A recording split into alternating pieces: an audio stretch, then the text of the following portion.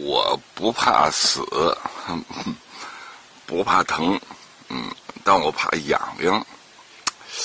这痒痒，啊，嗯，还有就是很多残酷的物质没办法打动我，但是语言能打动我，尤其那些，呃，所以老有那侃爷啊，请我吃饭，请我吃饭，他们以为我吃好的就能够腐蚀我，后来发现不是，但是好听的语言能打动我，所以在我这儿都是唱着歌说话。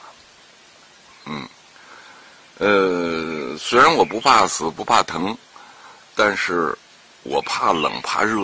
嗯，冬天的时候我怕冷，我穿很好的保暖的衣服；夏天我怕热，所以我躲到那些呃不能够不热的地方。洋人洋人管这个叫自然舒适度。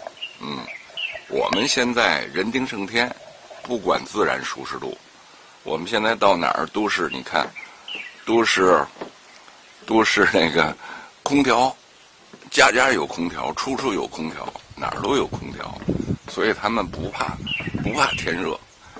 嗯，人有多大胆，地有多大产。可是我怕热，怕热。另外，我也怕人，所以我老躲到那些人少的地儿。躲到人少的地儿，怎么着呢？躲到人少的地儿，我赤身露体，一丝不挂。我不爱穿衣服。那时候小时候看《伟大领袖》，说伟大领袖喜欢风浴，风浴啊，就是让那大风吹过你的身体。我就想，伟大领袖肯定跟我一个爱好。嗯，你想，你要让风浴，让那大风吹过你的身体，你肯定得赤身露体啊，是吧？你要是。武装到牙齿，全身都被衣服包裹满了，那风怎么冲过你的？怎么能够，呃，抚摸你的身体，从你身体上穿过呢？我这么一说，你不要以为我现在就赤身露体，是吧？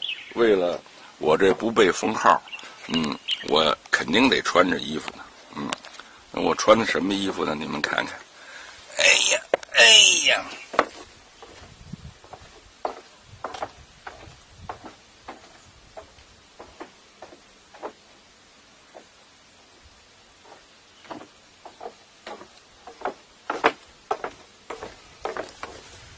我的裤衩呢，都是这个牌的，都是这个牌的。这裤衩呢，特累赘，在这两边呢，都还有两个兜这兜是装子弹的，嗯，这是那个越南战争的时候，美军啊，在在越南穿的裤衩嗯，我呢就把这两个兜给拆下去了。为什么把这两个兜给拆下去呢？因为那个，我就发现哈，我出去不带换洗的衣服，晚上我就得把裤衩洗了。洗了过去，嗯，三十年前、四十年前，我带我学生去山东，什么微山湖、什么沂蒙山出差的时候，我那那时候学生就笑话我说：“这唐老师就穿一条裤衩 啊，一条裤衩晚上呢，光着屁股把那个裤衩给晾在电扇上，靠电扇把那个裤衩给吹干了。嗯，但是我虽然说怕冷怕热，嗯，但是我我怕脏，更怕脏，所以每天我必须洗澡，必须洗衣服。啊，洗衣服我是也也是特土鳖，怎么洗呢？我用淋浴上边洗我，我就把我这个。衣服放在脚底下踩，因为我的体重，我一米八四，九十公斤，我的体重加上我腿的肌肉上的劲儿，虽然我的左腿右腿不一样粗，啊，怎么不一样粗呢？是一九八八年我替新华社拍《野生大熊猫》去秦岭，把右腿的踝骨的韧带摔断了，所以我在这儿走走，你们看，我这是残疾，现在反正是。垂垂木已就快死了，啊！你看我一条腿粗，一条腿细。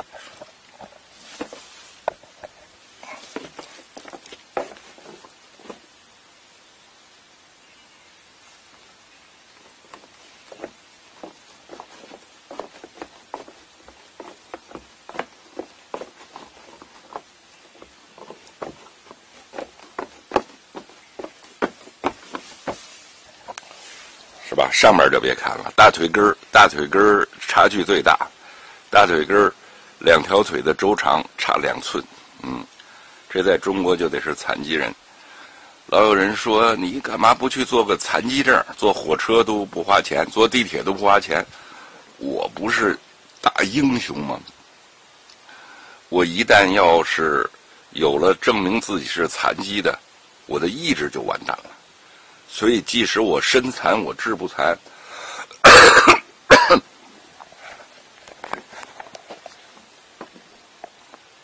这是什么虫的卵？嗯。这是什么虫的卵？太阳一晒呢，它就像蛋似的，该破蛋而出。这是什么虫的卵？把这卵给放在这儿了。嗯，嗯，一腿粗也，所以我不愿意去医院。嗯，一去医院就说你这儿有病那儿有病，而且煞有介事的，啊，让你坚决认为你有病了，所以你就完蛋了。我呢，就是尽量逃脱。嗯。自己有病都不知道，即使病入膏肓了都不知道，啊，就跟历史上的昏君似的，不许妄议我，不许妄议我，我他妈哪儿都好，库鲁塔妈，啊，咪呀咪呀，这萨达姆的话，我百分之百的好，百分之百，一百是阿拉伯语是咪呀，百分之百的好就是咪呀咪呀，咪呀咪呀，嗯，然后洋人不是，洋人特在乎自然。特别尊重自然，尤其欧洲的洋人，他们都住在森林里。嗯，那时候我有一个朋友叫 Kiki，是法国维法国维和部队的。呃，要按我们现在说，他真是间谍。为什么呢？他就是谍报军官，他就是审情报的。说你怎么认识他呢？我是记者，是吧？我到他那儿去捞情报去，我没什么情报给他，他有情报给我。嗯，我们说是情报，情报这字儿本身。那个国民党反动派叫情治啊，反正听着就不像好词儿。其实，呃，这个在世界上都属于信息，比如那个伊拉克的，我觉得叫信息部更好啊，Department of Information。但是我们都管它叫情报部。伊拉克情报部一说情报部就特恐怖，但是你要说伊拉克信息部。就比较中性，当然，伊拉克是一党独裁的阿拉伯民族复兴社会党领导的国家。呃，伊拉克的几千万人民紧紧的团结在以萨达姆同志为首的阿拉伯民族复兴社会党革命指挥委员会中央周围，嗯，民族复兴统一科威特，啊，建立伟大的呃民族复兴社会主义。这我都会背。我在伊拉克，我去过五次伊拉克，包括伊拉克最惨的时候，是吧？我上认知认识萨达姆，说你也认识萨达姆，那是你隔着电视认识萨达姆。萨达姆给我有亲笔签名，嗯，其他像阿齐兹啊，阿齐兹到北京来找我，找我啊，阿齐兹的秘书，伊拉克的外交部副部长，都到新华社我宿舍到我们家来。嗯，告我说伊拉克要完蛋完蛋了，你赶快告诉你们国家采取重要行动。嗯，伊拉克的文化部部长、信息部部长，呃，伊拉克伊拉克电视台台长，库鲁库鲁 together，所有这些都在一起，阿拉伯语叫库鲁，嗯，全在一起，都是一个人，啊，胡马姆，嗯。就是电视台里边有，呃，美国都打到巴格达边上了，他还白活呢啊！就那打白活蛋，就跟我似的，我就是一打白活蛋。我就想，啊，我最适合的职业就打白活蛋。嗯，又回到我说的那个法国 Kiki Kiki 怎么写呢？K I K I。现在中国好多小女孩儿哈，挺美的，给自己取名都叫 Kiki，他们不知道法语这 Kiki 什么意思，法语 Kiki 什么意思？就他妈是小丁丁的意思，小丁丁的意思。哎，现在好多女孩给自己取名叫叫 Kiki，就等于小丁丁。嗯，你听着就是小丁宝、小丁宝贝儿，把这个男优女娼、吉普女郎全给他们弄到 together，建一个大国际托勒斯。啊，这国际托勒斯不雅，把他们拖进来拉出去，最后撕了不雅，最好还是叫什么什么合作社。这是老舍，老舍走过世界，知道世界那些洋人啊啊，他们他们喜欢住在森林里，喜欢自然舒适度，认为只有自然舒适度的时候，不用烤火，啊，不用空调，才能平心静气的制造好手表。嗯，你看像我这手表，我一看我这手表，我又看见了。你看我最近马兽毛长，我这毛你看。都他妈三寸多长了，以前两寸多长，说是吧？不是一根儿，不是一根儿。以前我的毛，以前我的毛都是黑毛，后来现在毛都没色了。嗯，马瘦毛长，连毛的颜色都褪了色了。嗯，哎呀，只有在自然舒适的环境下，才能制造这种信这样的啊精准的手表。嗯。才能造徕卡相机、哈斯相机，是吧？人得在舒适的环境下，不像我们战斗民族啊，人有多大胆，地有多大产，不怕热，夏天不怕热啊，冬天不怕冷，战天斗地，哎呀，那都是扯淡。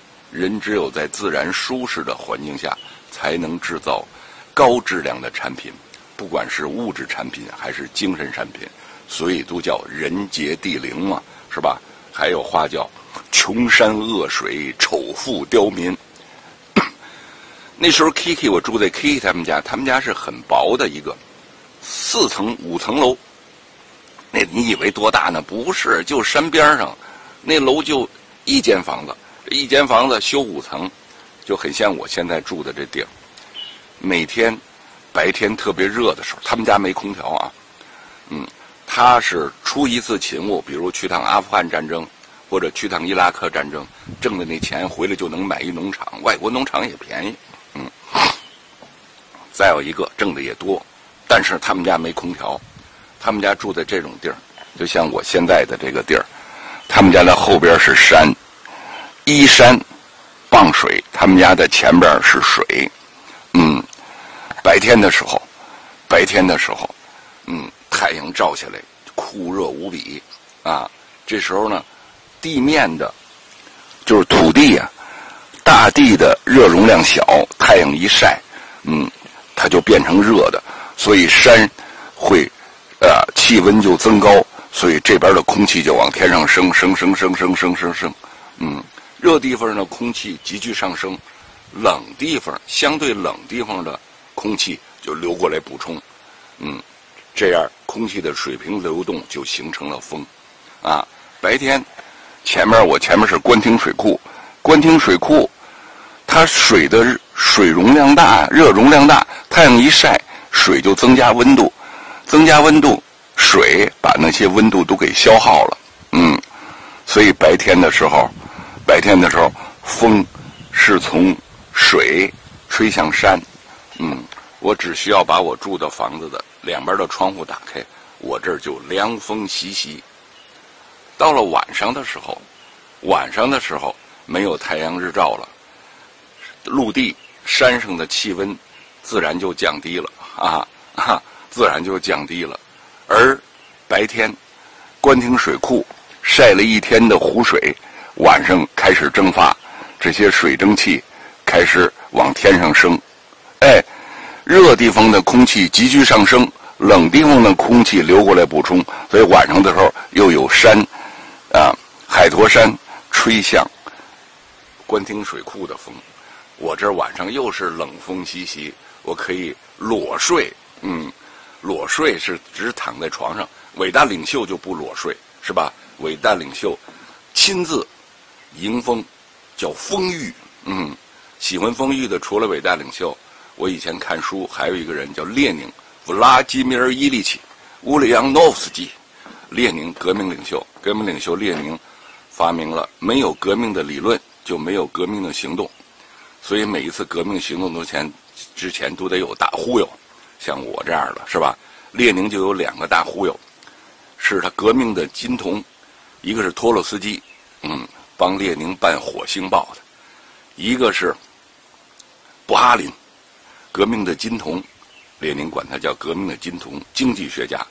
后来列宁一嗝屁，啊，就被斯大林给镇压了。嗯嗯，革命的金童，我就是托洛斯基啊，我就是我就是列宁大忽悠。嗯，没有革命的理论就没有革命的行动。另外，列宁还有一套建党理论，群众是分成阶级的，阶级是由政党领导的。政党通常是由那些受过好的教育、脑瓜特别灵、特别聪明嗯的集团领导的，嗯，这都是列宁同志的伟大教导。我现在在进行风雨，早上的时候，早上的时候，迎面水库的风吹过来，冲过我的身体。我现在学习伟大领袖，原有列宁，近有伟大领袖，嗯。但是我没全裸，我还穿着我的美军的越战裤衩儿，接受风雨。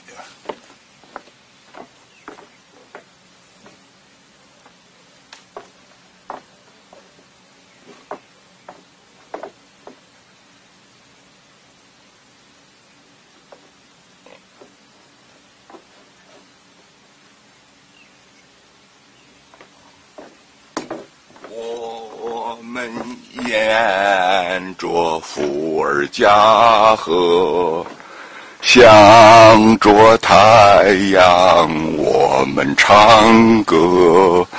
爱哒哒，爱哒，爱哒哒，爱哒，嗯